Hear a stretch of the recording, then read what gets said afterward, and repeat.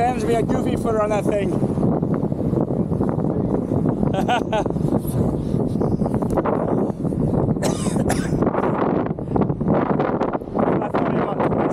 Thing. Yeah, I just fucking hucked the shit on that one, went backwards.